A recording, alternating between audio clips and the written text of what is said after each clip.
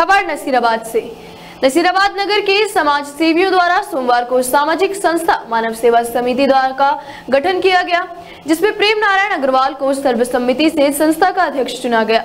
नवनियुक्त अध्यक्ष प्रेम नारायण अग्रवाल ने बताया कि शीघ्र ही कार्यकारिणी का विस्तार करने के साथ ही बिना भेदभाव किए मानव मात्र की सेवा हेतु तत्पर रहने का भरोसा दिलाया गया।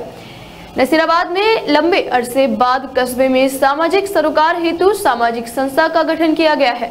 इस अवसर पर संस्था से जुड़े श्रवण लाल दिलवाड़ा, मनोज यादव, सुरेश साकला, महावीर हरि, मनीष सत्यनारायण सहित कई गणमान्य नागरिक उपस्थित थे। आज मानव सेवा समिति का गठन किया गया जिसका मुझे सर्वसम्मति से अध्यक्ष बनाया गया मैं प्रेम नारायण अग्रवाल यह आपको भरोसा दिलाता हूँ कि निस्वार्थ भाव से मानव की जनसेवा करूँगा।